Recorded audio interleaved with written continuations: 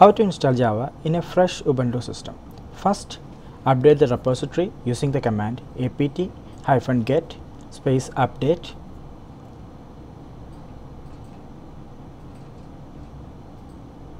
Then you can install Java or OpenJDK using the command apt-get install openjdk-17-jdk.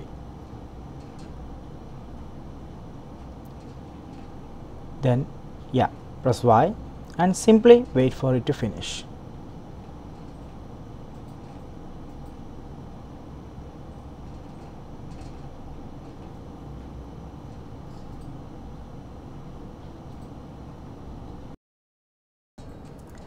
Now that we have Java, let's set up Besu.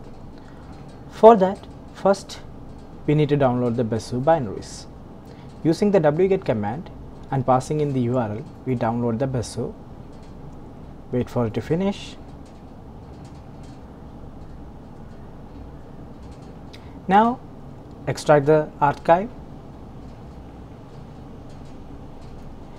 Next, we set the environmental variable. Now we can reload the bash.src file for this console and finally check the Besu version to make sure that it is installed. Next, we are going to install the Lighthouse client. We'll use the wget command to get the archive. Wait for it to finish. Next, we'll use the tar command to unzip the archive. Now that we have the binary, we'll copy it to the local binary folder using the cp command. Now we'll check if we the lighthouse is installed correctly using the command lighthouse hyphen hyphen version. It works.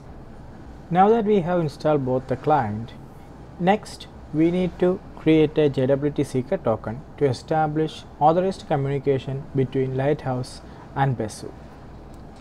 For that, we are going to use the OpenSSL command. We will create a random 32 byte length hex value. We'll just trim out the last slash n and store it to the JWT secret.hex file. Now that we are done with the preparation, we can go ahead and run the Ethereum node. For this, first we need to configure and run the execution client. We can do this by creating a configuration file for the execution client. We call it the config.toml.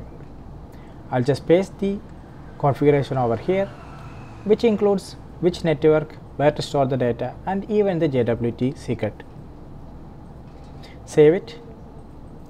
Next, we can run the execution client using the command besu hyphen hyphen x launcher.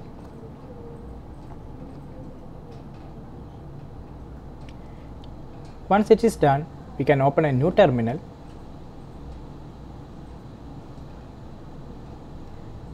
and here we can run the lighthouse client using the command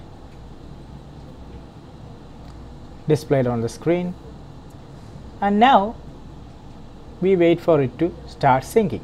This is going to take a little bit of time. I'll be back once it's done.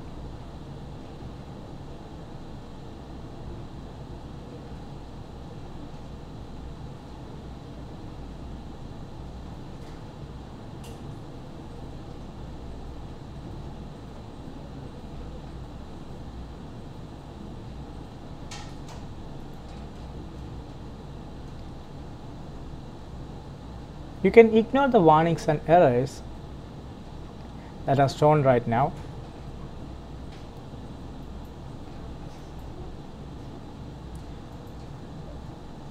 And once at the end you can see that it started the syncing and it's importing the block.